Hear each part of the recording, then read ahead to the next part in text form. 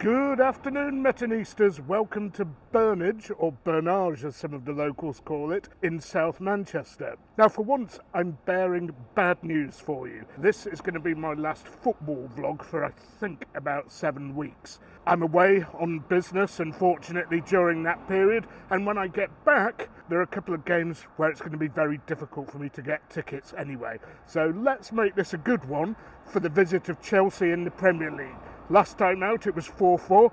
I'm expecting and hoping for something a little more sedate this time. Join me for the vlog.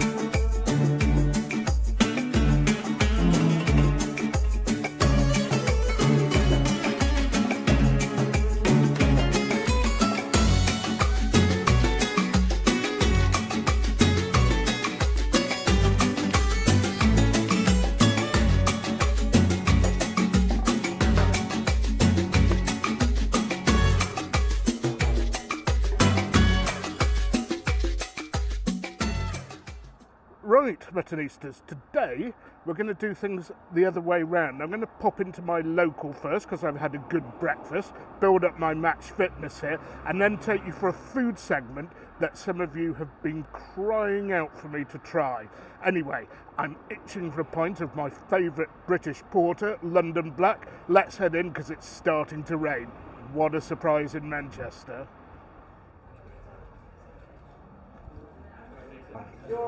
Yes, not too bad. London black as usual. Uh,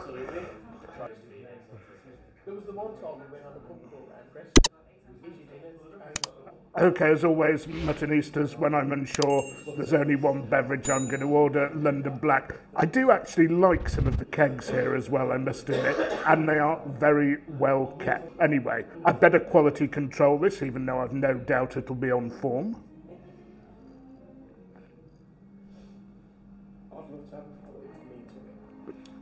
Mm, it. On form it is, and Muttonistas, I can pronounce myself match fit.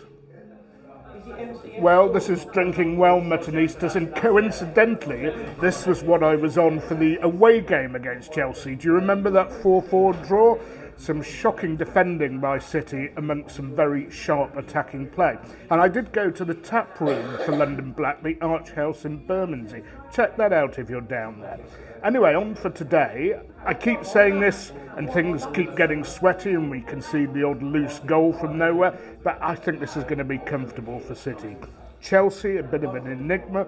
They have put in some good performances, as they did against City, but a lot of really scruffy ones as well. And I think we're going to have too much for them. We do have three injuries Jack Grealish, Bernardo Silva, and Josko Gvardiol. Gvardiol's out for a while, I think. Not quite sure about Grealish and Bernardo. I think Bernardo will just be a game or two. Anyway, we have able deputies in the form of Jeremy Doku. Nathan Ake can fit in at left back, and I'm pretty sure that either Nunes or Kovacic will fill in ably. I think Kevin De Bruyne on red hot form. I hope he starts today, and if he does and he keeps up his form, I don't think Chelsea will have any answer to it. Anyway, I'm going to enjoy my beer here, and I'll see you a bit later for the pre match meal and the team news. Come on, City.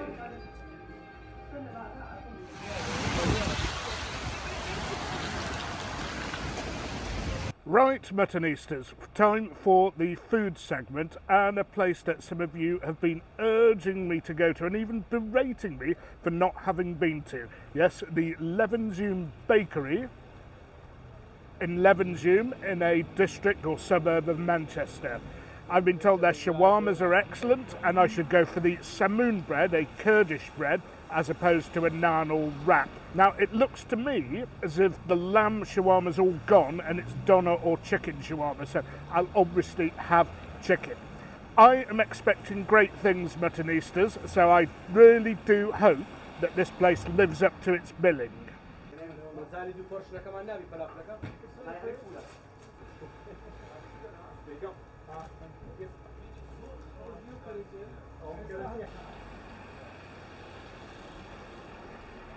Right, very, very quickly served, and obviously I went for the spiciest sauce they could offer.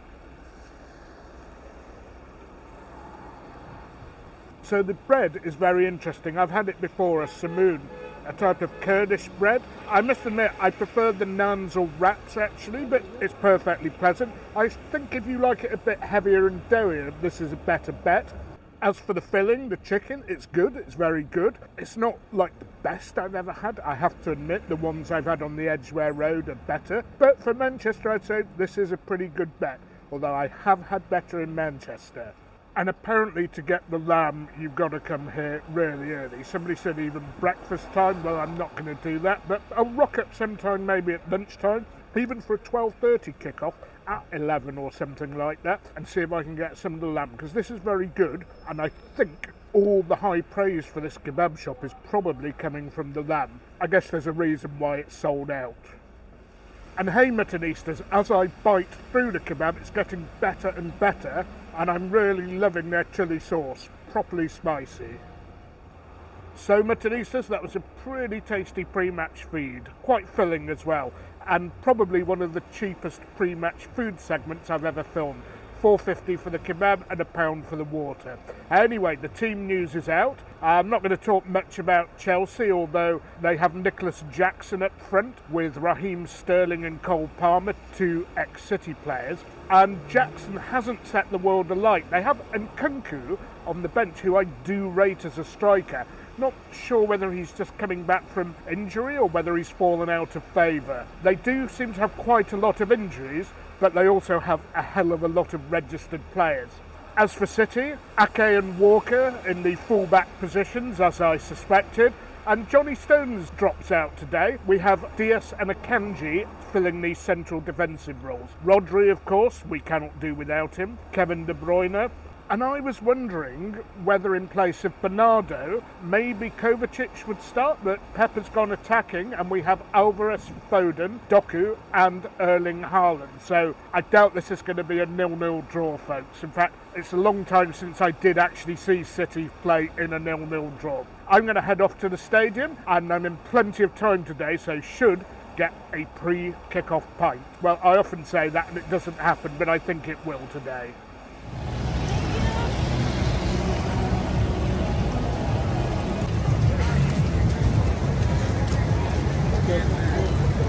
As predicted, Muttonistas, time for a pre-match pint. And whilst the lager is quite decent, it's lager. That's the reason why I don't get here particularly early, normally on match days.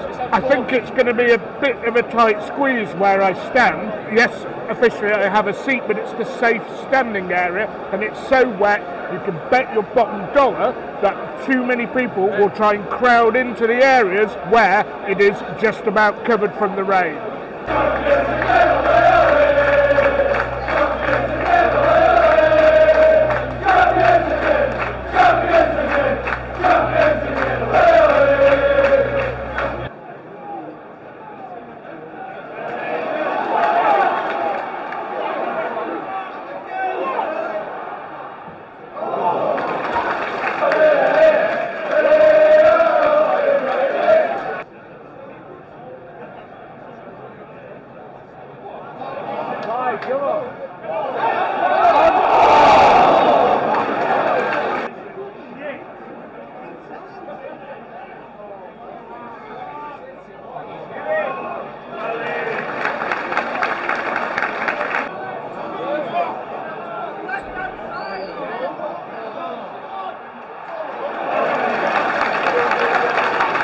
Twenty-four in. City have been a little bit sloppy with their passing today. Don't know if it's the wet surface, but doesn't seem to have affected Chelsea that much, who have had some sustained periods of possession and some very dangerous counter-attacks. I think we need to move up a gear here.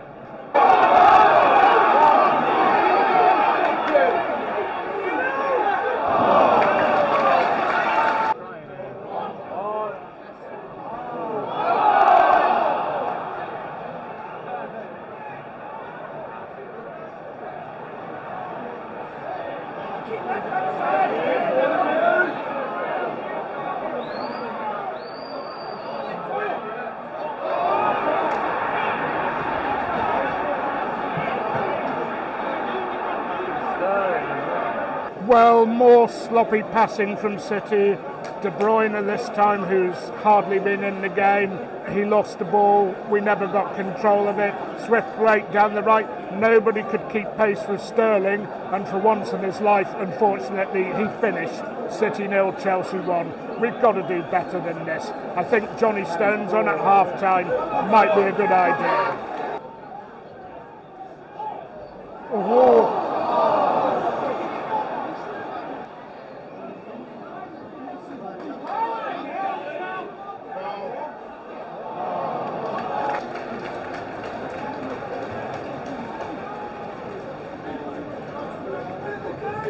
Half time, City nil, Chelsea 1, and a bit of a double whammy there. First of all, my coverage of the goal was bad and we're losing at half time. I thought City were very sloppy there. Not that Chelsea were any great shakes, but one thing Chelsea did very well was to have Gallagher very tight on Rodri all game. It's something I've been saying teams should be doing, but it's the first time I've really seen somebody stay as tight as glue on Rodri. Otherwise, a lot of sloppy passing.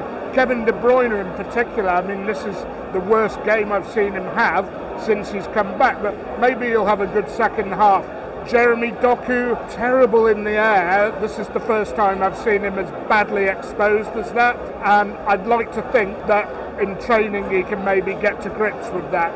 He's had the ball out wide quite a lot, but he's not been able to do anything with it usually slowed the game down a little bit too much, and Chelsea always had two men on it. We've conceded a lot of first half goals, equalisers, the first goal sometimes, and we've come back all the time. So let's hope that's the case. Let's hope Kevin De Bruyne gets his boots on. Maybe it's the wet grass, or maybe it's just fatigue from the Champions League game that City are not at the races and we need better in the second half. Come on, City, We've done this before, we've done it a lot recently, we can do it today.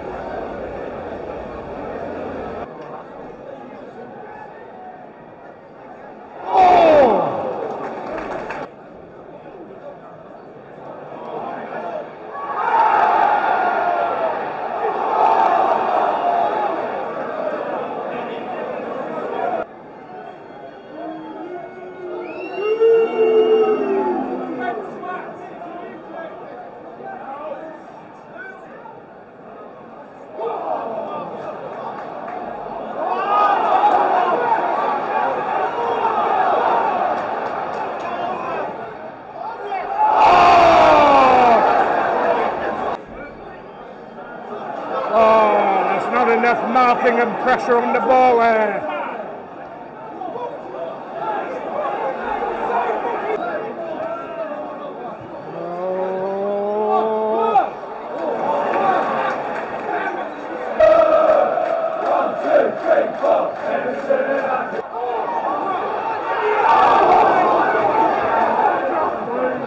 Sixty-three in, crowd getting frustrated. Some good openings. We've got behind them a couple of times bad final ball. Bernardo, who I thought was injured, has just come on for Alvarez, who unfortunately was a bit ineffective today.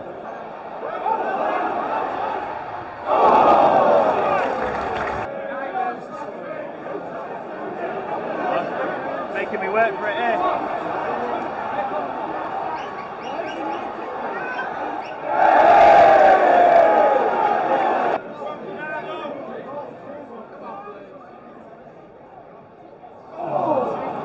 Well, only 10 minutes left per stoppage time. Don't see where a goal's coming from, but a mistake from them, a piece of brilliance, you never know.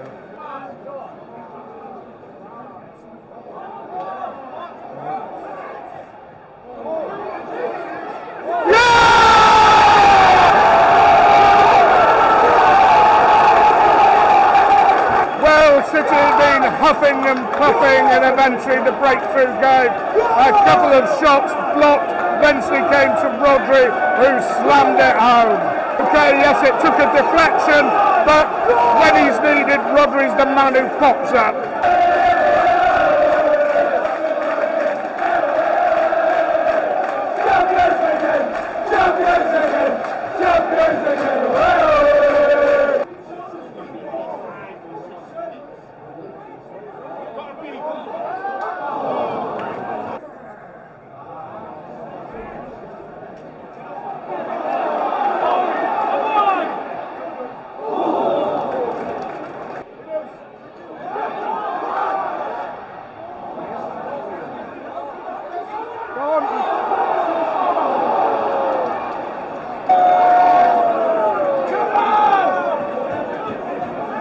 No, no penalty.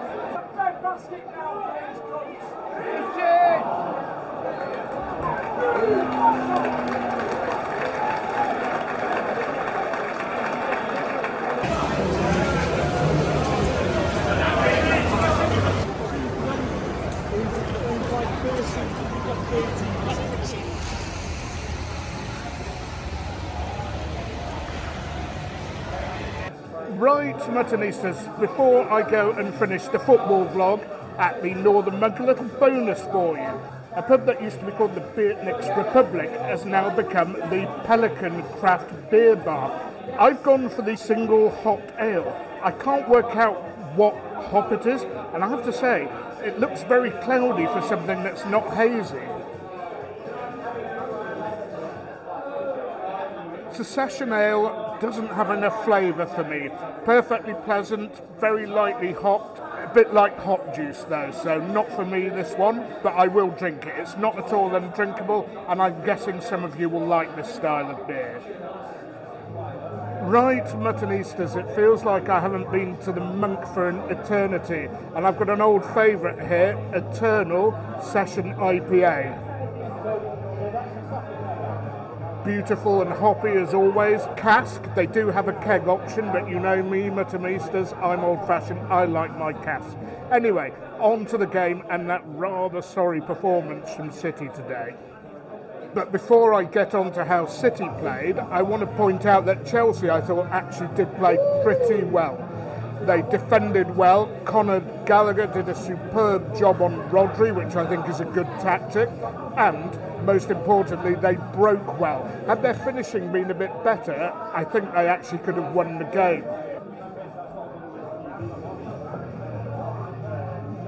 What I don't get is we played so, so well in Copenhagen. We played well away at Brentford. I know the performance against Everton was a little stodgy. But why this today? Was it the rain? I know some of the passes weren't true, but Chelsea managed to deal with it. Was it the fact that we just come back from Europe? I know sometimes teams give sluggish performances a few days after they've played away in Europe, but too many players were having bad days at the office. Erling Haaland, for one, I mean, we had so many shots, he couldn't stick one away. I know some of the chances were too difficult because the pass wasn't weighted correctly. Too many of the attempted assists didn't go to the right player or didn't go anywhere. Let's not forget, passing to Haaland when he's got two men on him might not always be the most productive thing. De Bruyne really wasn't there. Okay, he helped set up a massive counter attack which should have been finished, but he was partly responsible. Well, he was responsible for setting up the move that got Chelsea their goal. I didn't like the way that Walker again managed to get turned and allow somebody to curl the ball outside him. It happened twice against Newcastle and it happened again today. Okay, maybe you think I'm being a bit harsh. People who know more about the defensive arts of the game can tell me I'm talking rubbish, but that's the way it looks to me. And Jeremy Doku in particular had an absolute stinker today. He got into a lot of good positions, found a lot of space and did absolutely nothing. He was terrible in the air, allowed the ball to bounce over him, couldn't jump high enough. He got free on the wings, could never could put a good ball in, and generally either ran down blind alleys or didn't put his cross in quickly enough. So by the time he'd set himself, yet again, two men on him and we needed Rodri to bail us out yet again. Now, a lot of you will say, oh, jammy deflection and what have you, but I think that ball was going in, okay? I was at the other end, so I couldn't be sure, and the deflection didn't matter. But with Arsenal and Liverpool going ahead full steam, we have to do better than this. The result isn't terminal by any means. I remember last season we drew away from Forest just after we'd beaten Arsenal, and that was, but it felt as disappointing as it does today. Now, before I wrap things up, on to my own plans. Unfortunately, from Monday, I am away for quite a long time until Easter, until just after Easter. So, unfortunately, there won't be any games I can go to until after Easter. I'm not sure what the first game actually is, but there won't be anything till then. I do have a couple of beer blogs in the pipeline, and I'll be going to China as well, and I'll try and do a food blog or two whilst I'm there. Whether I can upload them or not with that massive internet wall over there, I don't know. I do have a VPN. So please stay with me, Muttonistas. I'll be back at the football matches as soon as I can. But until then, I'm going to love you and leave you. Please remember to keep liking, keep subscribing, keep sharing. But most of all, don't forget, you can't beat a bit of mutton.